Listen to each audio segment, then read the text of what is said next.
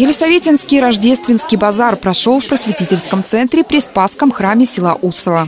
Он проводится ежегодно и служит продолжением доброй традиции, заложенной святой преподобно-мученицей великой княгиней Елизаветой Федоровной, которая устраивала рождественские ярмарки с 1892 года. Инициатором ее возрождения стала Анна Громова. На базаре можно приобрести книги, поделки, изделия учащихся школ города Одинцова, праздничные сувениры.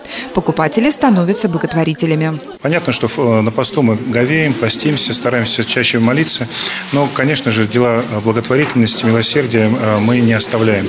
Поэтому вот это э, традиционная ежегодная базар рождественский или советинский для нас одна из форм проявить нашу любовь и заботу о ближнем.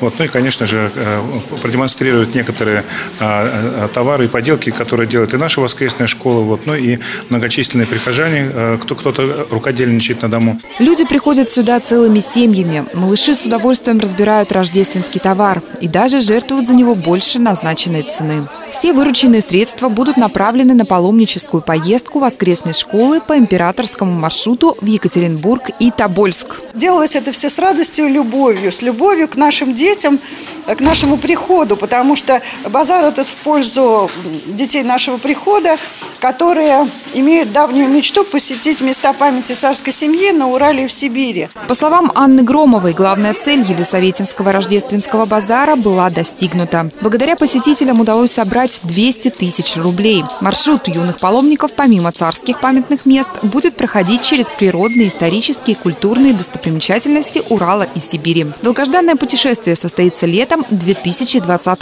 года. Мила Тарасевич, телекомпания «Одинцова».